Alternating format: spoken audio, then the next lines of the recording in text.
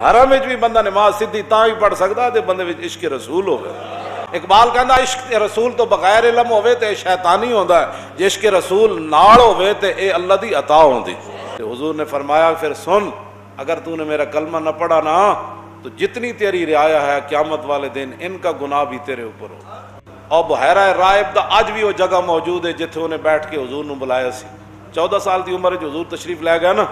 तो सारे अरब जाते सन। पादरी जड़ा कदी अपने आस्थाने तो थले ही नहीं आया। जो रसूलुल्लाह गए तो अपने थले उतर के अहले अरब की दावत की उन्हें कहा, सारे आओ तो हजूर ना आए तो पुछाओ। बाकी वो नहीं कोई रहा उन्हें क्या उन्हें कहा उन्होंने वास्ते तो मैं तुम्हें रोटी खवा रहा उन्होंने लियाओ उन्होंने लियाओ तो उन्हें क्या हजूर का हाथ पकड़ के की कर लगा, हाजा सैयद आलमीन, हाजा रसूल जी, बैठे हुए बंदा पादरी। शाम के दूसरी मंजिल उत्ते बैठे, उस दूसरी मंजिल। और रात देर हो गई सी, असं गड्डी दैटा ना सिर्फ़ वो जगह वेखी सी। मैं आख्या यार जिथे बह के तेन हजूर की पहचान हुई। उत्ते बह के उन्हें हजूर का मुबारक हाथ पकड़ के की किया जी? जे ना समझ आवे तो बड़े बड़े मुफक्रीन ना आवे। कि जी चालीस साल तक ये थी बातें तो वो थी बातें तो फलां बातें। अल्लाह, और इल्म बेश का जस्ता होतियाँ, और इल्म बाश का जला होतियाँ। इकबाल कहना इश्क रसूल तो बगैर इलम हो तो शैतानी होता है। जे इश्क रसूल नाल हो तो ये अल्लाह की अता होती ऊ सलाह तो ऊ इमामो ऊ हरम, ऊ मिदादो ऊ किताबो ू कलम, बस। हाँ जी, हरम भी बंदा नमाज़ सीधी ता ही पढ़ सकता तो बंदे इश्क रसूल हो गए ऊ सलाह तो ओ, इमामो तो इमाम साहब भी पीछे ता ही आ जाते हैं जिसके रसूल होवे। वरना कहते हैं आपने पीछे दरूशरी पढ़ा, मेरी नमाज़ में खलल आ गया। हाँ, तो इमाम साहब भी ता ही पीछे हट हैं सिद्दीक अकबर नमाज़ पढ़ा रहा है तो हजूर ने इधरों कपड़ा हटाया तो साहब उधर वेखण लग पाए तो सिद्दीक अकबर भी पीछे हटे। तो हजूर ने फरमाया, सिद्दीक, नमाज़ पढ़ाओ, हजूर ने पर्दा आगे कर दिता ऊ सलातो, ऊ इमामो, ऊ हरम, ऊ मिदादो, ऊ किताबो, ऊ कलम। इश्के रसूल तो बगैर गल कोई नहीं होती बंदा उत्थे उलझ के रह जाता बंदा। हज़रत दे या कल भी फरमाया उन्होंने पहुँचाओ तो ऊ फिर बादशाह कैसर रूम न मेरा खत पहुँचाए। और जदों हजूर का हाथ मुबारक पकड़ के बहरा राय पादरी कह लगा ना, हाजा सैयद उल अमीन ये सारे जहाना के सिरदान अल्लाह के रसूल हैं ये अल्लाह के उन्हें क्या तू कि पता लग्या कि अल्लाह के रसूल हैं तू तो कभी अपने उस इबादत खाने तो थले भी नहीं आया? तो बहरा राहिब ने जी गल की उन्हें क्या जो हजूर ਨਾਲ ਤੁਸੀਂ ਤਸ਼ਰੀਫ ਲਿਆ ਰਹੇ ਸੀ ਨਾ ਇਹਨਾਂ ਪਹਾੜਾਂ ਤੋਂ ਲਮ ਯਬਕਾ ਸ਼ਜਰun ਵਲਾ ਹਜਰun ਇਲਾ ਖਰ ਸਾਜਿਦਨ ਵਲਾ ਯਸਜੁਦਾਨ ਇਲਾ ਲਿਨਬੀਨ ਉਹਨਾਂ ਕਹਾ ਜਦ ਤੁਸੀਂ ਇਹ ਵਾਦੀ ਪਹਾੜ ਉਤਰ ਰਹੇ ਸੀ ਨਾ ਮੈਂ ਕੋਈ ਪੱਥਰ ਨਹੀਂ ਵੇਖਿਆ ਕੋਈ ਦਰਖਤ ਨਹੀਂ ਵੇਖਿਆ ਜਿਹੜਾ ਇਹਨਾਂ ਨਬੀ ਨੂੰ ਸਜਦਾ ਨਾ ਕਰ ਰਿਹਾ ਹੋਵੇ ਤੇ ਮੈਂ ਆਪਣੀਆਂ ਕਿਤਾਬਾਂ 'ਚ ਪੜਿਆ ਦਰਖਤ ਔਰ ਪੱਥਰ ਸਿਵਾਏ ਨਬੀ ਦੇ ਕਿਸੇ ਨੂੰ ਸਜਦਾ ਨਹੀਂ ਕਰਦਾ ਤਾਜਦਾਰੇ ਖਤਮ ਨਬੂਵਤ ਜ਼ਿੰਦਾਬਾਦ आजा सैदुलमीन आजा रसूल रबालमीन पहले अजय तो हजूर की उम्र मुबारक चौदह साल है। गोद में आलम शबाब, आला हज़रत की तरफ़ इशारा किया गोद में आलम शबाब, आले शबाब कुछ न पूछ, गुलबन बाग नूर की कुछ और ही उठान है उन खत जो मंगाया तो हजूर ने फरमाया, ये खत है अल्लाह के बंदे अपने बारे में फरमाया। मोहम्मद रसूलुल्लाह की तरफ़ से ये ख़त है। किसके नाम? हिराकल के नाम या हिरकिल के नाम? जो क्या है? रूम का बड़ा है। इसके तहत मुहदसी ने लिखा कि बादशाह था तो हजूर ने मलिक क्यों नहीं लिखा? मलिक रूम।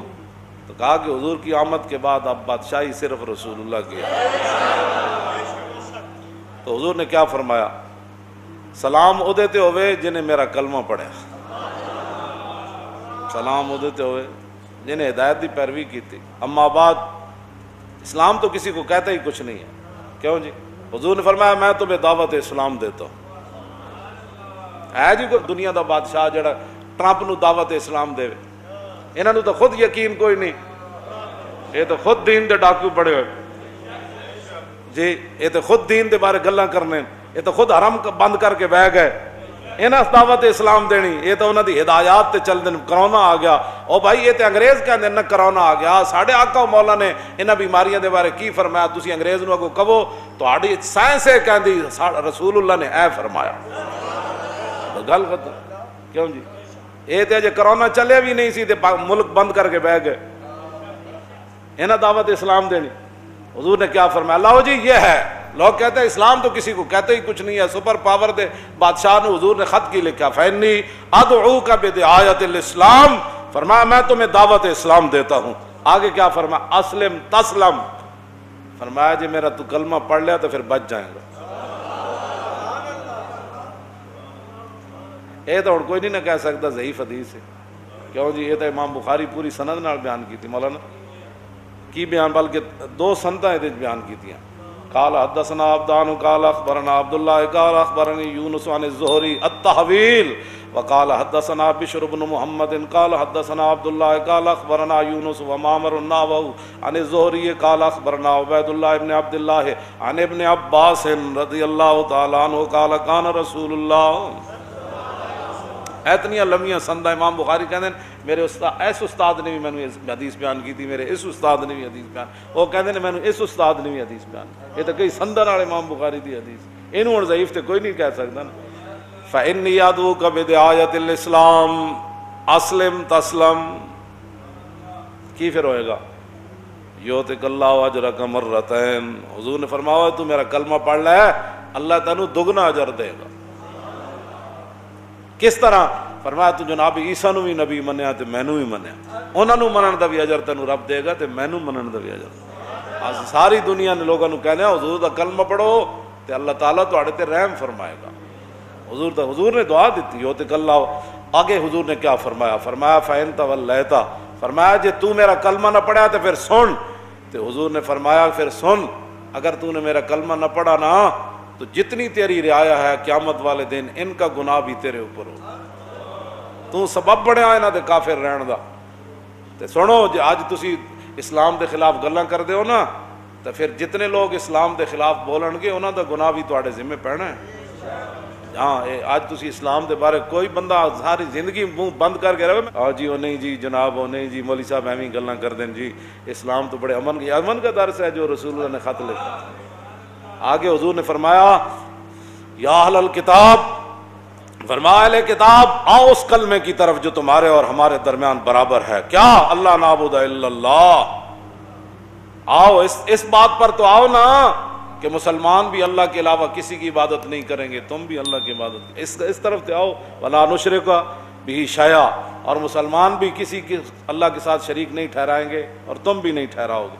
वलायत अबादन आबादन अरबाबम और हमारे बाज बाज को, अल्लाह को छोड़कर खुदा नहीं बनाएँगे।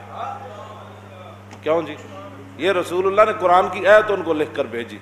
और मैं ये है बात। आगे, फ़ैन तवल्लाओ, और अगर तुम फिर जाओ, मेरी बात तुम न मानो। फकूलू। क्यों जी?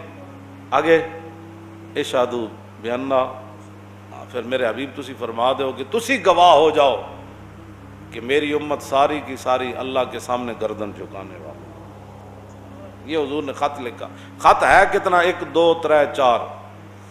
चार सत्रह बनदियाँ चार सत्रह ना हज़रत अबू सुफियान फरमा देन भावें मैं हजूर का कलमा नहीं सी पढ़िया लेकिन जदों खत पढ़िया जा रहे ना तो कैसरे रोम की जबान और होठ भी कप कपा रहे सन तो जिसम भी कप कपा रहे थे अजे तो हजूर सामने नहीं सन। हजूर को अल्लाह ने हैबत कहते मैं टंगा भी कमद वेखिया तो मैं वो होठ भी कमद वेखे सिर्फ़ चार सत्रह का खत सी पूरा कुरान पढ़ के भी लोगों को समझना है फिर मनिया की रसूलुल्लाह रहेगा, यू ही उनका। और रहेगा, यू ही उनका। रहेगा यू ही उनका। उन्हें जाना। उन्हें जाना। उन्हें जाना। ताजदार खत्म नबुवत ताजदार खत्म नबुवत ताजदार खत्म नबुवत पाकिस्तान का मतलब क्या? पाकिस्तान का मतलब क्या? ज़ोर लाओ भाई, ताकि इनू ला मजहबीयत की तरफ़ कोई ना लै जाए, इन सेकुलरिज्म की तरफ़ कोई ना लै जाए। जिस तरह वो बाहर जो बैठा है, वो कहता था कि पाकिस्तान बड़ी तेज़ी से लिबरलिज्म की तरफ़ जा रहा है। होना तो वही है जो मेरे रब ने चाहना है। तो वो लिबरलिज्म की तरफ़ तो पाकिस्तान ना गया, लब्बैक का नारा घर घर घर पहुँच गया। क्यों जी? हाँ पूरी दुनिया के बल के पहुँच गया। इस वास्ते पाकिस्तान का मतलब क्या? दस्तूर रियासत क्या होगा?